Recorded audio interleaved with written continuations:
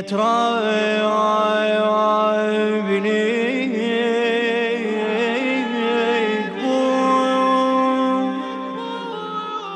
تدري الضليع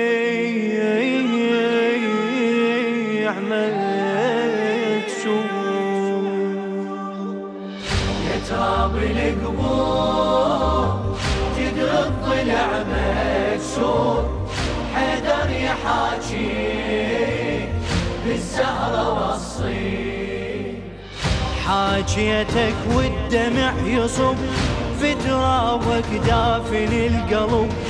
لا تجرح قلبي يلترب والمدمع سال محزون وينحب الشمع مكسور من الشمس ظلي.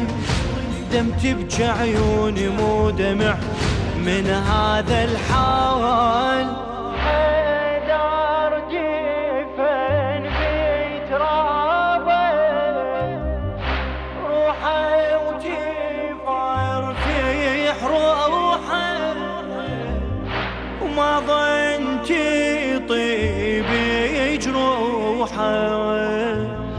راح ابكي بسكوت بعمر الوريد وتموت. ابكي وابكي بالزهرة بسم الله الرحمن الرحيم. اللهم صل وسلم على محمد وآل محمد. السلام عليك يا بنت رسول الله. السلام عليك يا بنت نبي الله. السلام عليك يا بنت حبيب الله. السلام عليك يا بنت خليل الله. السلام عليك يا بنت صفي الله. السلام عليك يا بنت أمين الله. السلام عليك يا بنت خير خلق الله. السلام عليك يا بنت أفضل أنبياء الله ورسله وملائكته. السلام عليك يا بنت خير البرية. السلام عليك يا سيدة نساء العالمين من الأولين والآخرين. السلام عليك يا زوجة ولي الله وخير الخلق بعد رسول الله. السلام عليك يا أم الحسن والحسين سيدي شباب أهل الجنة. السلام عليك أيتها الصديقة الشهيدة. السلام عليك ورحمة الله وبركاته. بالزهرة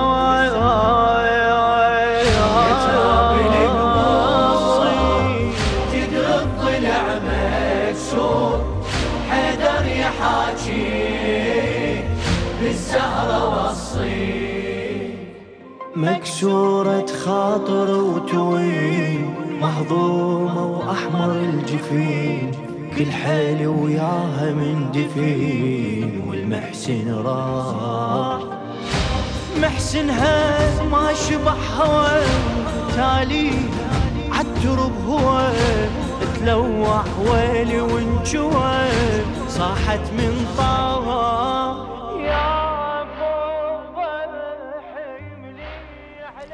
السلام على الحسين وعلى علي بن الحسين وعلى أولاد الحسين وعلى أصحاب الحسين. السلام على قمر بني هاشم حامي خدور الفواطم مولانا أبي الفضل عباس عليه السلام. السلام على فخر المخدرات والعقائل مولاتنا السيدة زينب الكبرى عليها السلام. السلام على صاحب العصر والزمان عجل الله تعالى فرجه وسهل مخرجه وجعلنا وإياكم مشاهدين إن شاء الله من الساعين والمسارعين في قضاء حوائجه إن شاء الله. السلام على فاطمة وأبيها وبعلها وبنيها عدد ما أحاط به علمك وأحصاه كتابك. السلام عليكم مشاهدينا أينما كنتم ورحمة الله تعالى وبركاته. نحن نبدأ معكم إن شاء الله من جوار هذا الضريح المقدس والرياض القدسية لمولانا أبي عبد الله الحسين وأخيه أبي الفضل العباس. أرواحنا جميعا لهم الفداء في هذه الحلقة المباشرة من برنامج أم الأئمة عليهم أفضل الصلاة والسلام. وها هو اليوم بما فيه من ذكرى آه، مؤلمة تعتصر في قلوب كل الموالين والمواليات في مشارق الأرض ومغاربها لا سيما وتحديدا الذين اليوم هم بجوار المراقد المقدسة لذرية الزهراء عليه السلام. وهم يعزون حفيدها الحجة.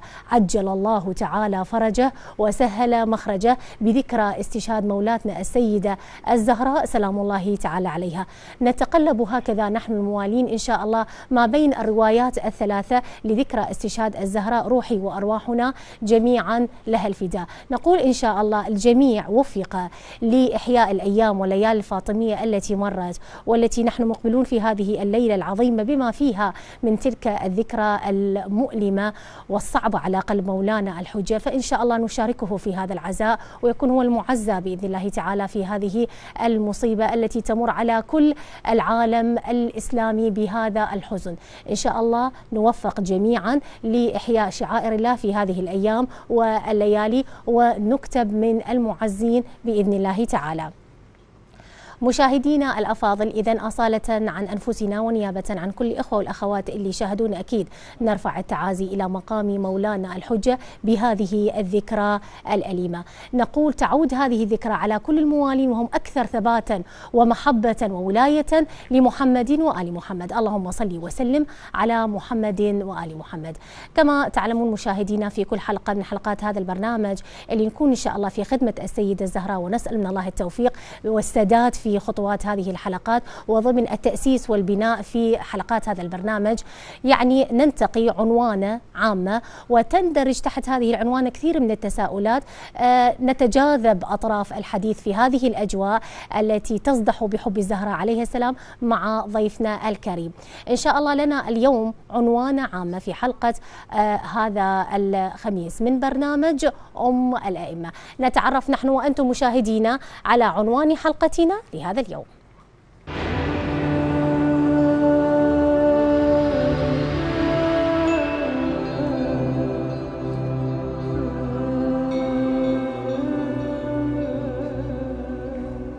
محور حلقتنا لهذا اليوم مشاهدينا هو استشهاد السيدة فاطمة الزهراء عليه السلام ما بين الحزن العلوي صلوات الله عليهم وجرح الإنسانية.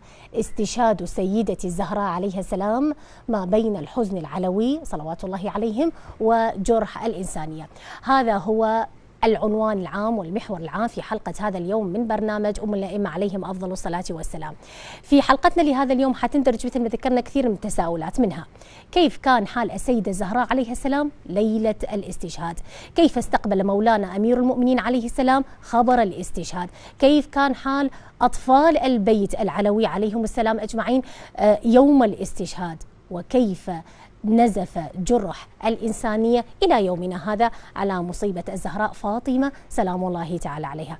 هذه التساؤلات تحت العنوان العام اللي ذكرناه سوف آه، يعني تكون ضمن أجواء الحزن الفاطمي بإذن الله تعالى في الحوار اللي حنفتحه في هذه الحلقة مع ضيفنا لحلقة هذا اليوم والذي انضم إلينا من مدينة مولانا أمير المؤمنين سلام الله تعالى عليه الباحث في التاريخ الإسلامي الدكتور سلمان باقر الخفاجي. أكيد كل المشاهدين اللي اعتادوا آه، إنه يتابعون حلقات هذا البرنامج ويتواصلون ويانا. وأكيد آه، يعني ل آه، يعني لحضور الدكتور هشام السياب والبصمة الواضحة في حلقات هذا البرنامج الحضور المميز. اليوم إن شاء الله أكيد إحنا ندعو له بقضاء حاجته على يد السيدة الزهراء عليها السلام. إن شاء الله ضمن من تقضى حوائجهم في هذه الليلة ويوم غد إن شاء الله. نرحب اليوم بضيفنا الذي حل علينا عزيزا إن شاء الله وفاضلا وتشرف أكيد بالحديث الحديث مع الباحث في التاريخ الإسلامي الدكتور سلمان باقر الخفاجي. السلام عليكم ورحمة الله وبركاته دكتور سلمان وعظم الله لكم الأجر.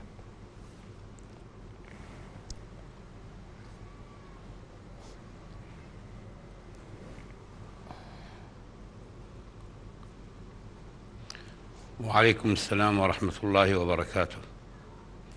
وأنتم الله أحسن الله عزاءكم. وأعزاء سيدنا مولانا الإمام المهدي المنتظر عجل الله تعالى فرجه الشريف ومراجعنا العظام وكل المؤمنين بذكرى استشهاد سيدتنا ومولاتنا الزهراء صلوات الله وسلامه عليها عليه السلام أحسنتم. اذا مشاهدينا كما تعلمون إحنا يتجدد اللقاء في برنامج أم الأئمة في ليلة الجمعة. هذه الليلة التي تقضى فيها الحوائج، هذه الليلة التي يتلهف فيها كل الموالين إلى أن يحضروا إلى ضريح مولانا أبي عبد الله وكلهم لهفة وشوق لأن يجددوا العهد معه إنه دائما تكون الزيارة مستمرة ودائما يكون هنالك تلك العلقة الخاصة مع مولانا أبي عبد الله سلام الله تعالى عليه، وهذه تعزز الكثير من القيم الإنسانية والإيمانية الموجودة في نفس الإنسان، لذلك يحرص كل الموالين دائما على جلب العوائل بمختلف أعمارهم رغم تكون أي مهما كانت ظروف الزيارة، سواء كانت متعلقة بالبيئة مثلا والأجواء بشكل عام أو كانت متعلقة حتى بظروفهم الخاصة والظروف اللي تمر بها البلاد، لكن هم حريصين على أن يحضروا إلى الزيارة إن شاء الله.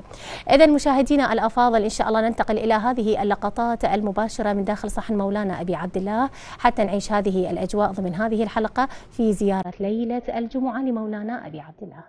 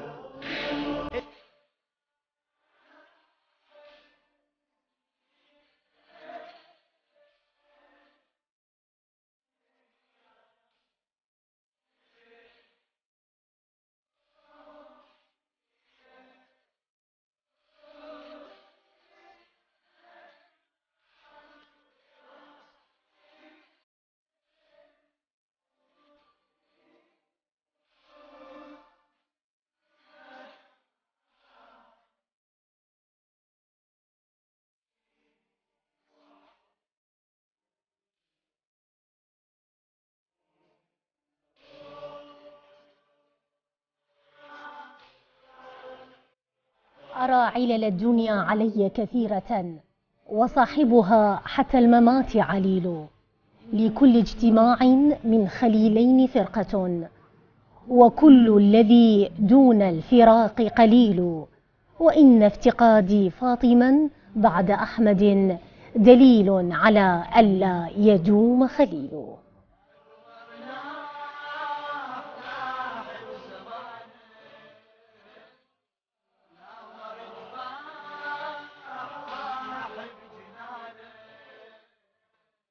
حياكم الله مشاهدينا في حلقتنا لهذا اليوم من برنامج أم الائمه عليهم أفضل الصلاة والسلام ونحن نعيش ليلة استشهاد السيده الزهراء.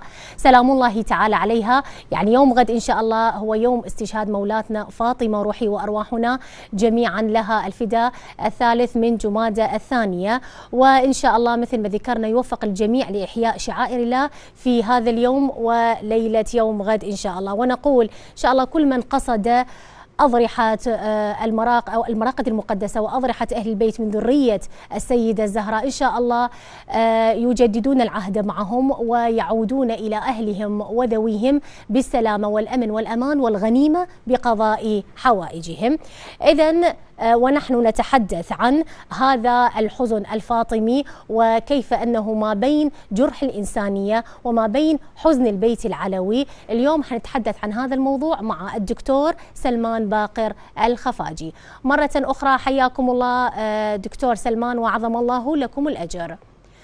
آه إن شاء الله أيضا إخوتي أخواتي حينضموا ويانا خلال حلقة هذا اليوم من داخل صحن مولانا أبي عبد الله. سلام الله تعالى عليه.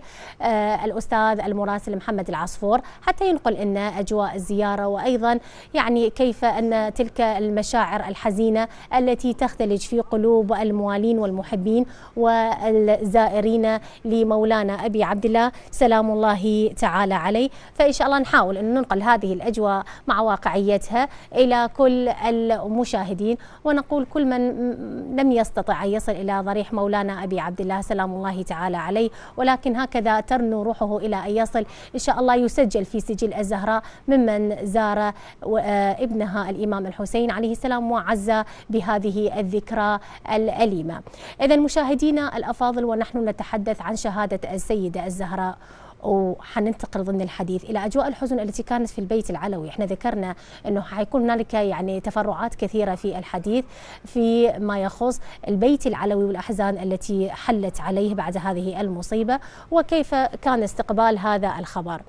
طبعا مشاهدينا الأفاضل أيضا حتكون لنا وقفة مع آه، يعني كأنما هكذا مهرجان لموسم الأحزان الفاطمي ما بين الحرمين الشريفين وهذا المهرجان الذي اشترك فيه العتبتان المقدستان الحسينية والعباسية وأيضا فرقة العباس القتالية وأيضا الهيئات والمواكب آه، اشتركت به. وصراحة كان هناك إتقان وحرص في تنفيذ هذه التصاميم. يعني بانوراما آه، عندما نتابعها وأكيد كل اللي قدموا إلى أرض كربلاء المقدسة إن شاء الله يعني لاحظوا هذه الميزة الموجودة. فإن شاء الله إخوتي أخواتي حنتعرض أثناء هذه الحلقة إلى هذه المشاهد من داخل الحرمين الشريفين. مرة أخرى حياكم الله دكتور سلمان.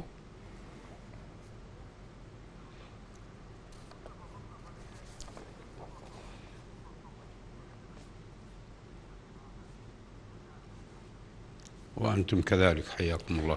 آه، دكتور سلمان تنقل لنا الروايات أن الرسول صلى الله عليه وآله قبل رحيله قد سر الزهراء عليه السلام بشيئين.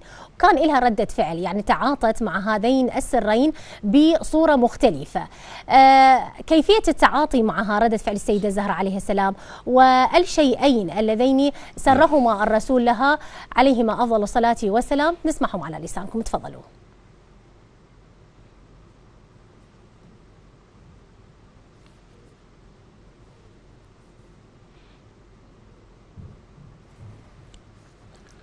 بسم الله الرحمن الرحيم. الحمد لله حق حمده والصلاة والسلام على سيد الأنبياء والمرسلين محمد وعلى آله الطيبين الطاهرين.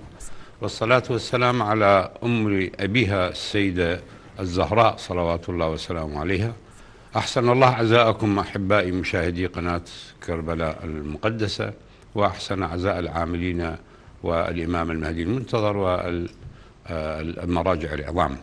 الحقيقة الزهراء عليه السلام آه، كما ورد في الأثر أنها هي أم أبيها كما أطلق عليها النبي صلى الله عليه وآله هذا وهو لا ينطق عن الهوى أنه إلى وحي وللعلماء دراسات وتحاليل وبحوث في هذا المجال كيف أن الزهراء هي أم أبيها. فالنبي صلى الله عليه وآله اهتم بالزهراء اهتماما خاصا لأنها هي الوحيدة له مما رزقه الله سبحانه وتعالى من بنين وبنات.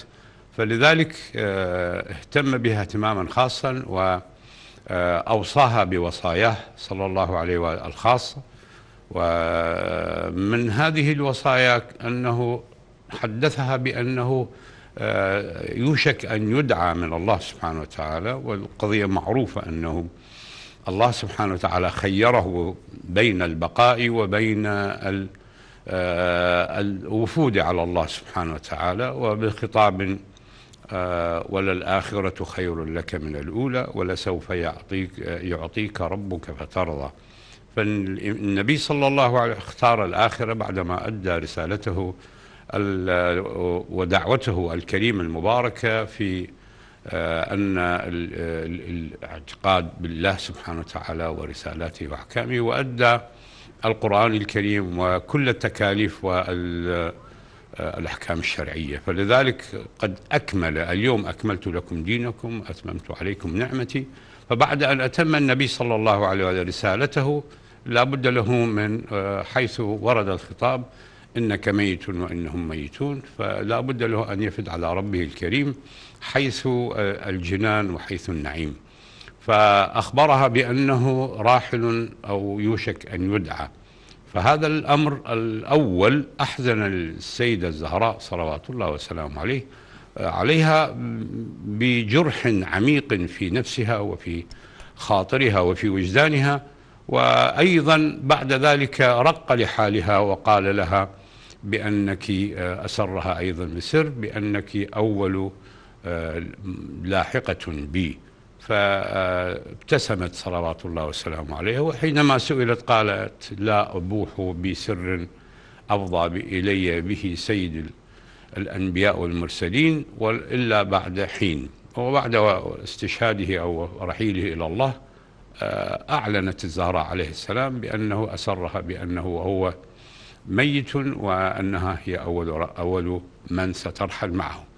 هذه هاتان القضيتان الحقيقة حتى أنها قالت للنبي صلى الله عليه وسلم قد أحزنتني وأسرتني فقال لها هكذا هي الحياة. الحياة هي بين سرور وفرح وفرح وبين سرور وحزن. آه، لا بد أن تختلط عندها وأنت في ذلك عليك أن تصبري صبر آبائها وأمهاتهم وأمهاتهم زوجاء أو أقول أمهاته. أمهاتك زوجاتهم أن تصبري لأن الصبر هو آه، الحقيقة الذي يبشر الله سبحانه وتعالى. ولذلك ورد في الذكر الحكيم آه، وبشر الصابرين الذين إذا أصابتهم مصيبة قالوا إنا لله وإنا إليه راجعون وإلى تكملة الآية الشريفة. آه، المباركة والزهراء عليه السلام هي العالمة الغير معلمة هي الإنسان الحوراء الإنسية التي أخذت علم القرآن الكريم وعلم أبيها صلى الله عليه وآله وكانت حجة. ولذلك قال الإمام العسكري صلوات الله وسلامه عليه أن أننا حجج الله على خلقه وأمنا الزهراء هي حجة علينا. فالزهراء عليه السلام أيها الأحبة نعم. أيها الأعزاء المشاهدين أنها هي الحقيقة أم الممكنات جميعا فهي أم الإنسانية أم الخليقة لأن الله سبحانه وتعالى جعل سيد الأنبياء وسيد المرسلين وسيد بني آدم جميعا. محمد صلى الله عليه وآله وهو الذي منحها آه، عنوان أو لقب أم أبيها. فإذا هي أم كل الممكنات الموجودة. فهذه السيدة الجليلة العظيمة الكبيرة عند الله سبحانه وتعالى وعند الأنبياء. الحقيقة آه، عاشت آه، الجرح الفقدان أبيها صلى الله عليه وآله. والجرح الثاني أنا في تقديري المتواضع الجرح الثاني هي انتكاسة الأمة كما ورد في الذكر الشريف عن الله سبحانه وتعالى وما محمد إلا رسول. قد خلت من قبله الرسل أفإن مات أو قتل انقلبتم على عقابكم الأمة انقلبت على عقبيها وهذا هو الجرح في تقديري الذي يساوي جرح فقدان أبيها صلى الله عليه وآله لماذا؟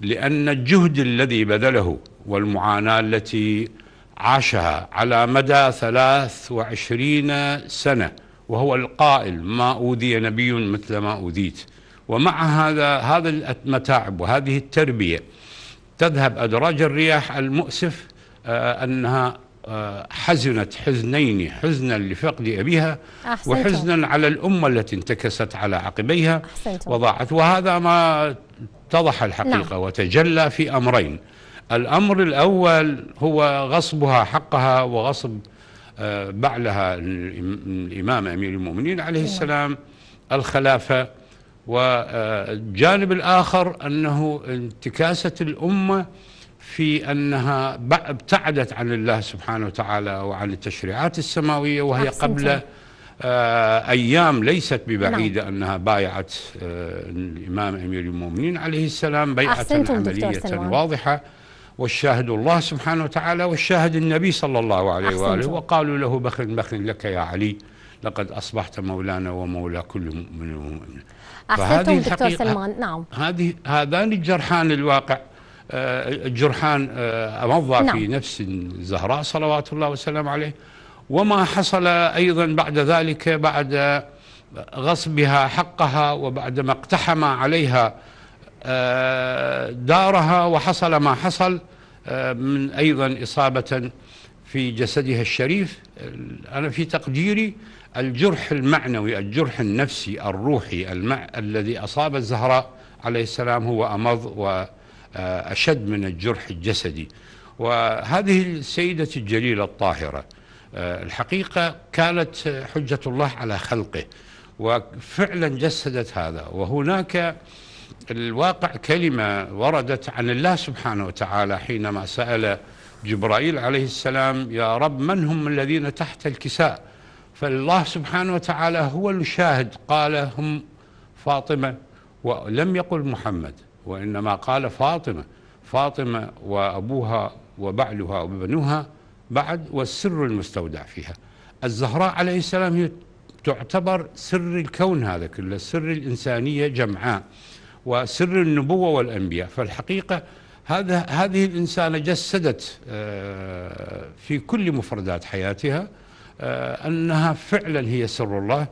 من حيث آه، أحسنتم دكتور سلمان. إن شاء الله إحنا حنتحدث آه، أيضا ضمن آه، ما مهيأ لنا من وقت في حلقة هذا اليوم.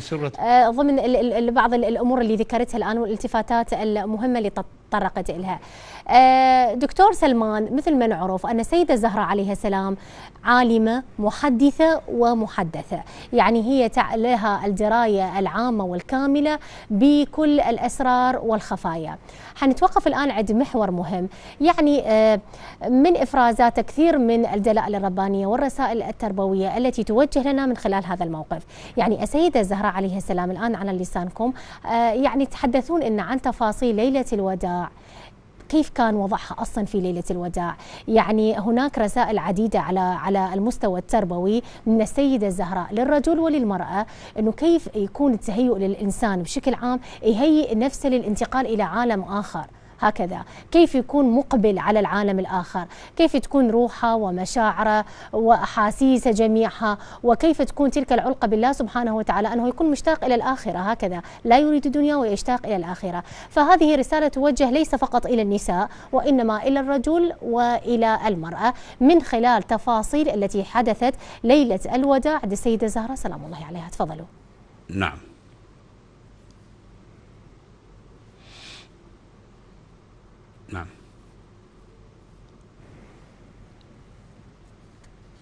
أحسنتم. آه، الزهراء صلوات الله وسلامه عليها في هذه السويعات التي عاشتها آه، إبان الإيذان برحيلها إلى الله سبحانه وتعالى كانت مثال الإنسانة الصابرة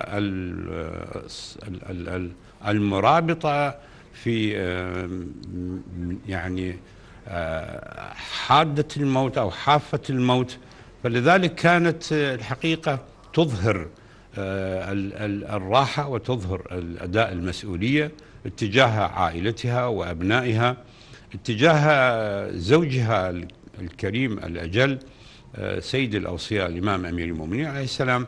فتجلدت وأظهرت آه، الحقيقة الإيمان والصبر والوضوح. فلذلك لم تحزنهم ولم آه، تؤلمهم أو آه، تشتكي عما كانت تعانيه وإنما هي كانت المعزية لهم وهي كانت المصبرة لهم والمهدئة لروعهم وحالاتهم. فلذلك في هذه السويعات التي سبقت ساعة استشهادها صلوات الله وسلامه عليه كانت مثال المرأة القائمة بأمرها أولا. ثانيا كانت في أتم أو في انشغال تام في آه، قراءة القرآن والدعاء والتسبيح والتهليل لكي تعطي درسا لكل إنسان أنه هو مقبل على الله سبحانه وتعالى أنه مقبل على الحياة الآخرة التي كما مر علينا في ذكر القرآن الكريم للنبي صلى الله عليه وآله وقال له وللآخرة خير لك من الأولى ولسوف يعطيك ربك فترضى. إذا الوفود على الله سبحانه وتعالى هو خير مما الحياة الدنيا التي تعيشها. علما أنكم تعلمون أيها المشاهدين الكرام أن الزهراء عليه السلام عانت من أم من أمة أبيها معاناة قاسية شديدة بعد أن ارتدت وانتكست على أعقابها. فلذلك آه، ما عانته وما عاشته من الأمة. حيث هذه الأمة الكبيرة أو الكريمة الواسعة لم يكن هناك أنصار لها وللإمام آه، أمير المؤمنين عليه السلام سوى عدد أصابع اليد من الناس المؤمنين الصبورين أمثال أبو ذر والمقداد وعمار وسلمان المحمدي رضوان الله تعالى عليهم. فإذا هذا جرح عميق الحقيقة أحزن الزهراء عليه السلام. وهذا نقرأه في خطبتها الكريمة المباركة التي عبرت عنها عبرت بها عن الحقيقة التي تعيشها آه، هي صلوات الله وسلامه عليها في معاناتها اتجاه أمتها آه، لعله هناك رمز هو بسيط موضوع فدك وسلب آه، فدك ولكن فدك هو رمز واقعا رمز لسلب الإنسانية لسلب حق المجتمع لسلب حق البشرية جمعاء لأن نعم. ما حصل في ذلك في ذلك الظرف هو الواقع ما سبب انتكاسة للإنسانية ارتداد على عقب الأمة التي آه، أيضا هي أوضحت ذلك آه، حيث قالت في ضمن خطبتها الشريفة المباركة آه، ريثما لقحت يعني الانتكاسة والسقوط حصل يعني الانقلاب حصل ومع أنه حصل فكان سريع أحسنتم أحسنتم. أي أن الأمة قد باءت بالفشل وبالخسران ولذلك صلوات الله وسلامه عليها كانت تعاني من حزن أليم وشدد وشديد نعم آه، تجاه أمة آه، أبيها التي ضاعت آه، في دخول في مطامع الحياة أحسنتم. لربما و... هذا كل كل اللي ذكرته من المصائب والمعاناة والآلام على كافة المستويات التي عاشتها السيدة الزهراء وهكذا تجمعت عليها كلها ليلة استشهادها. منها وصراحة كثير من التفاصيل في ليلة استشهاد السيدة الزهراء في ليلة الوداع تذكر آه، يعني في الروايات أنه آه، السيدة الزهراء عليه السلام اهتمت بشؤون البيت في ليلة استشهادها حتى في شؤون أولادها. هيئت لهم الطعام. ثم بعد ذلك توجهت لقراءة القرآن وللصلاة والانقطاع على الله سبحانه وتعالى. يعني في هذه اللحظات الأخيرة من حياتها والسيدة زهرة هكذا كأنما ترسل رسالة. أنه هناك دور دور ووظيفة سامية للمرأة ما تستغني عنها في آخر لحظة من لحظات حياتها. يعني مع المعاناة ومع المصائب والمصاعب هي مع ذلك الروايات تذكر أنه هي اهتمت بشؤون البيت أعدت الطعام حتى آه، أنه أمير المؤمنين يعني هكذا. آه، أسمعها كلام أنه آه، هو الآن فرح كأنما هي الآن ردت لها صحتها وعافيتها وتذكرها الروايات. هذا المعنى إحنا نقول بما معناه يعني نذكره الآن. واهتمت بشؤون الحسنين والسيدة زينب. سلام الله الله عليهم عليهم أجمعين. وثم ذلك انقطعت إلى الله سبحانه وتعالى. فهي أدت هذه الوظيفة اللي ترسل رسالة إلى النساء في كل زمان وفي كل مكان وهذا دورك وأيضا الانقطاع على الله سبحانه وتعالى وهي رسالة عامة لكل إنسان إنه كيف تكون العلقة بالله تعالى خصوصا في اللحظات الأخيرة من حياته. ما هو تعليقكم على هكذا رسائل؟ ويا ترى هل هي تصل إلى الجميع؟ ويفهمها الجميع. هكذا تفضلوا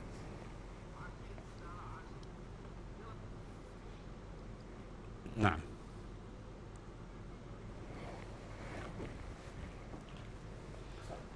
آه، نحن نحتاج بصراحة إلى مراجعة أو إلى قراءة معمقة للزهراء صلوات الله وسلامه عليها. كما قلت أن الزهراء هي سر الكون هذا كله وأسرار الكون اجتمعت عندها. فلذلك الأمة الواقع مقصرة مع نفسها. الزهراء ليست بحاجة إلى دراسة أو تحليل أو قراءة ولكننا نحن آه، أبناء آه، رسالة النبي صلى الله عليه وسلم أبناء الرسالة المحمدية أبناء الرسالة الفاطمية. نحن نحتاج قراءة الزهراء عليه السلام قراءة صحيحة وعلمية. إننا الحقيقة لا بأس ولا مانع من أننا نعيش الأحزان ونعيش المأساة بكل أبعادها لكن الأهم من هذا أننا نقرأ الجانب الأهم في حياة الزهراء شخصيتها رسالتها أحسنتم. آه مسؤوليتها تجاه الأمة التي أدتها أداء كاملا آه خرجت لتبشر الأمة ثم آه حضرت في مسجد أبيها وخطبت تلك الخطبة الرائعة فهذه مسؤوليتها لإتمام الرسالة رسالة أبيها نعم. صلى الله عليه وآله بعد الجانب الثاني كما تفضلتم أنها أدت مسؤوليتها مسؤولياتها كأم أم لعائلة وهذه العائلة مسؤولة عن أن تربيها تربية طيبة وتغذيها بالقيم والأخلاق والأحكام الإلهية والشرعية.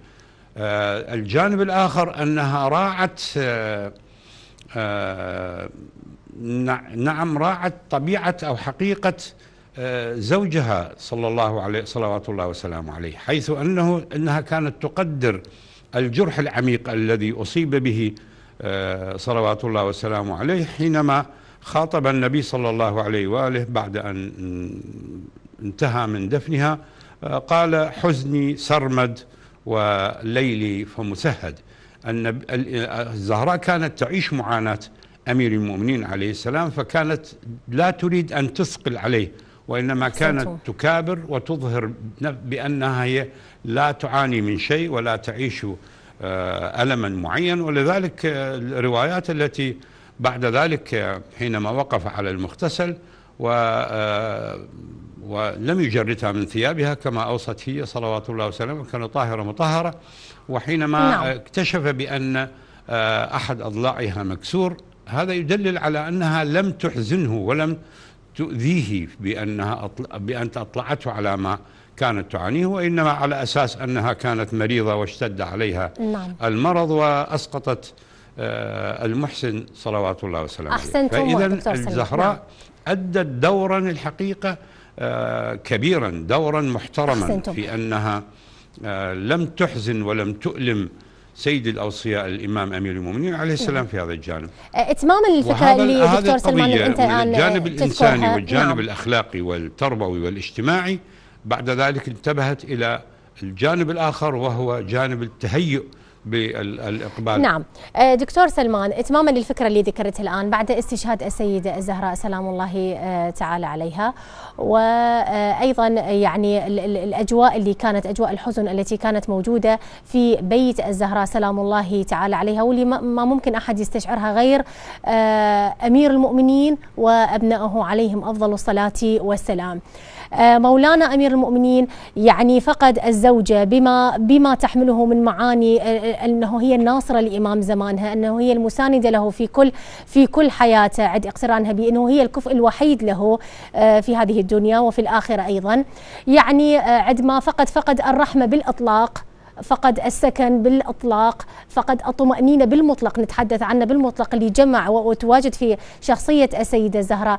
فأكيد ما تركته من ألم في يعني آذى أمير المؤمنين وذريته. هذا ما ممكن أحد يوصفه. فإتماما لفكرتك دكتور سلمان في هكذا موضوع إن شاء الله حنتحدث بإذن الله تعالى مع حضرتك. لكن إذا سمحت لنا فقط نذهب إلى داخل صحن مولانا أبي عبد الله. سلام الله تعالى عليه. للقاء آه، مراسلنا محمد العصفور مع الموالين وهم يعزون بذكرى شهادة السيد- السيده الزهراء آه، عليه السلام عذرا الأخ آه، الأستاذ مصطفى آه، ستر أكيد تحياتنا إلى الأستاذ محمد العصفور وتعازينا له. السلام عليكم ورحمة الله وبركاته أستاذ مصطفى وعظم الله لكم الأجر تفضلوا. عليكم السلام زهراء وأعظم الله لكم الأجر والمصاب في استشهاد الصديقه الزهراء عليها السلام بحسب الرواية الثالثة المصادف يوم غد الثالث من جمادي الآخر ونحن متواجدين عند آه، ابنها الإمام الحسين عليه السلام في كربلاء المقدسه والزائرين يتوافدون من جميع المحافظات أحسنتم. العراقية وكذلك البلدان العربية والأجنبية لإحياء نعم. هذه الفاجعة الأليمة. الآن أكيد إن شاء الله من خلالكم أستاذ مصطفى حتنقلنا آه، إلى أجواء ال- آه، الزيارة إن شاء الله. وأيضا ستنقلنا إن شاء الله إلى هذه الأجواء الحزينة الموجودة في داخل صحن مولانا أبي عبد الله. سلام الله تعالى عليه. بداية أنت كيف وجدت هذا الحزن الفاطمي اليوم؟ مع كل الأجواء الموجودة الآن ومع ال- كيف أن كربلاء بأجمعها تحديدا انطلاقا من مرقد مولانا أبي عبد الله قد توشحت بالسواد. وأيضا الحال على وجوه كل الموالين الذين يفيدون إلى أرض كربلاء المقدسة. كيف وجدت ولمست الحزن الفاطمي في وجوههم؟ تفضلوا.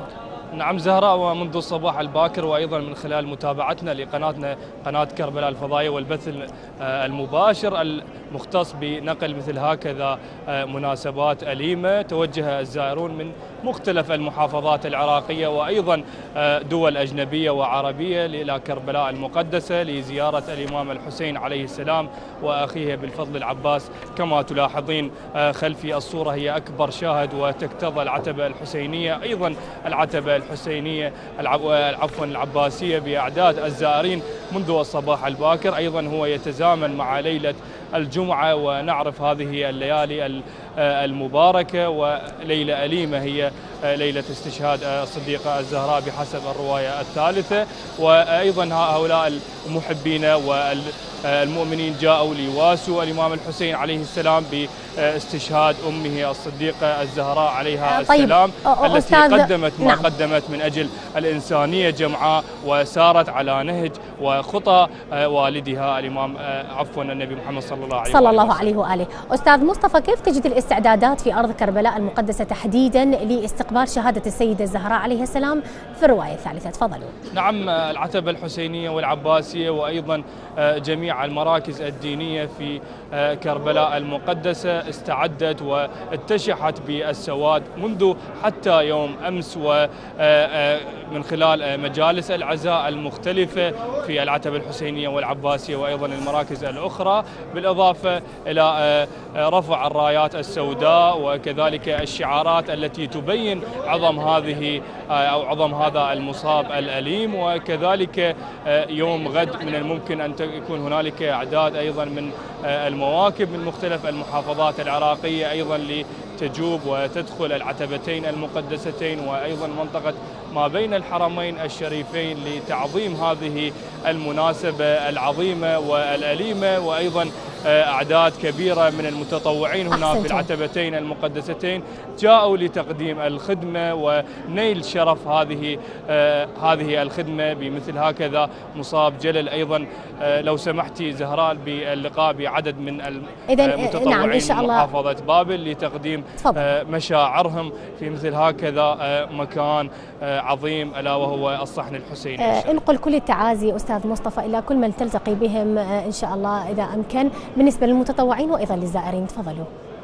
نعم زميلتي زهراء بالبداية آه، نلتقي مع مسؤول متطوعي آه، بابل آه، باسم الهلالي ليحدثنا أكثر عن عظم هذه أو عظم هذا المصاب وأيضا الخدمة التي يقدمونها بدون مقابل سوى حبهم للإمام الحسين عليه السلام. بالبداية أعظم الله لك الأجر باستشهاد الصديقة الزهراء عليه السلام بحسب الرواية الثالثة. صف لنا مشاعرك وتتقدم هذه الخدمة بدون بدون مقابل مقابلك الوحيد هو حب الإمام الحسين عليه السلام. وأهل بيته نرفع أسماء آيات العزاء إلى مقام سيدي ومولاي الإمام المنتظر أرواحنا لا تراب مقدمه الفداء.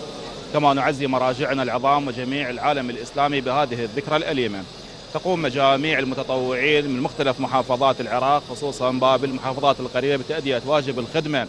في جميع الزيارات المليونية إضافة إلى الزيارات المخصوصة والخميسات في مرقد الإمام أبي عبد الله الحسين عليه السلام. خدمة تطوعية بدون أي مقابل خدمة للزوار أبي عبد الله طبيعة هذه الخدمة.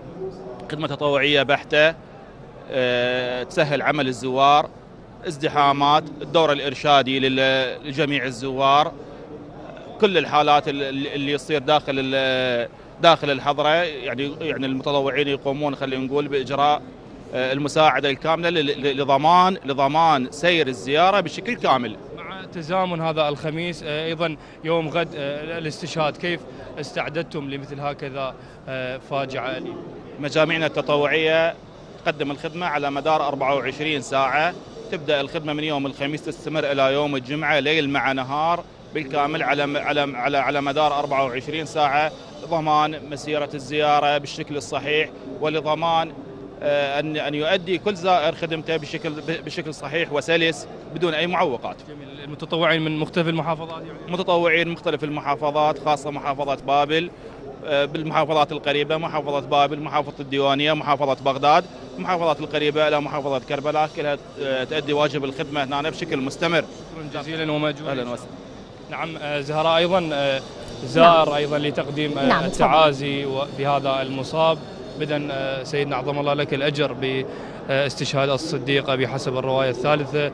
آه، حدثنا عن آه، مشاعرك وأنت في حرم الإمام الحسين عليه السلام وأنت تقدم التعازي للإمام الحسين باستشهاد والدته. اللهم صل على محمد وآله الطيبين الطاهرين. اللهم ألعن أول ظالم ظلم حق محمد وآل محمد وآخر تابع له على ذلك. اللهم ألعن العصابة التي جاهدت وشايعت وبايعت على قتل الحسين وآل الحسين. وقتلت فاطمة الزهراء.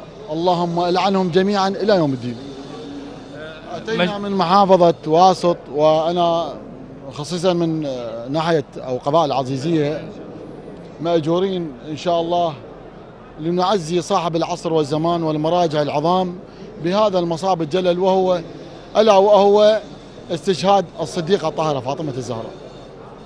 كيف شهادة الأجواء في الحرم الحسيني؟ وأيضا آه، توجهك المولى بالفضل العباس عليه آه، زيارة آه، المراقد الأطهار في هذه المناسبات إنها أشبه أشبه بالجنة. والله أقولها من صميم قلبي أشبه بالجنة. ولا أستطيع أن أصف مشاعري خاصة عند قبر أو أو أو ضريح الإمام الحسين. أحسنتم ولا أتملك أحسنتم. مشاعري. أسأل موفقين الله إن الله. البيت أن مأجورين إن يحفظ شاء الله العراق أستاذ مصطفى ويحفظ تعازي العراق وقتنا وأهل العراق. نعم. وأهل العراق. وكل. وكل إنسان يحب أهل البيت بحق محمد وآل محمد. وأسأل الله أن يرفع هذا الظلام عن العراق وعن أهل العراق. بحق محمد وال عظم الله لك الأجر. شكرا جزيلا. سيدنا. نعم زهراء إذا كان هنالك أي كلمة بهذه آه، الله يبارك المناسبة. الأليمة وهي استشهاد بنت آه، سيد أستاذ وزوجة مصطفى. سيد الأوصياء وأم الحسن والحسين عليهم السلام التي. استشهدت مظلومه وسارت على نهج وخطى آه، الرسول محمد صلى الله صلى عليه الله وسلم عليه إلى وآله. آخر موفقين إن شاء آه، الله بهذه الخدمة. تعازينا. لكم أستاذ مصطفى. الله يبارك فيكم. شكرا جزيلا. أنا أعتذر لأن الوقت ضيق. شكرا جزيلا لكم. شكراً زهراء. شكرا جزيلا. في أمان الله. إذا مشاهدينا الأفاضل مثل ما ذكرنا هناك نقلة إلى ما بين الحرمين الشريفين إن شاء الله. حتى آه، يعني نشاهد تلك الأجواء ومثل ما ذكرنا موسم الأحزان الفاطمية. وكيف الجميع اجتهد حتى يظهر تلك الصور المتقنة التي تتحدث عن بيت الزهراء ومظلوميتها. الشيطان الرجيم. بسم الله الرحمن الرحيم. والصلاة والسلام على سيد المرسلين أبي القاسم محمد. اللهم صل على محمد وآل محمد. نعزي صاحب العصر والزمان. والمراجع العظام والعالم الإسلامي باستشهاد السيدة الطاهرة الجليلة فاطمة الزهراء. روحي له الفداء. نحن أهالي كربلاء نقيم هذا المعرض التجسيمي للزهراء اللي نسوي به نعش الزهراء وبيت الأحزان وبستان فتك والشمعدان نقيم عليها هذا نبين مظلومية الزهراء. أحنا نصيح لأهالي كربلاء هذا عاشور المصغر. من كسر الضلع بدت آلات آل محمد. صلى الله عليه وآله وسلم. وإحنا نحن أهالي كربلاء نقيم هاي أكو عالم تيجي تشوف ويقول ما تعرف هاي شنو ما شنو. نشرح لهم نقول لهم هاي كانت الزهراء عليها السلام كانت هيك عايشة بسيطة. وإحنا من هذا عملنا نريد أول شيء الشفاعة ال- ال- من الزهراء والقبول إن شاء الله.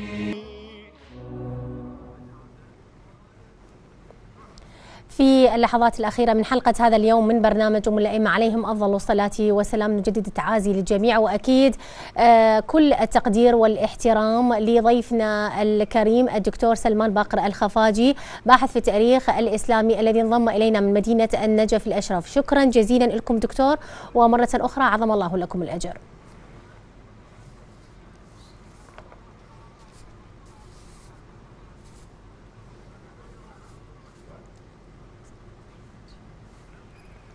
وأنتم كذلك. الله يحسنكم ويرعاكم ويحفظكم الله يبارك بكم.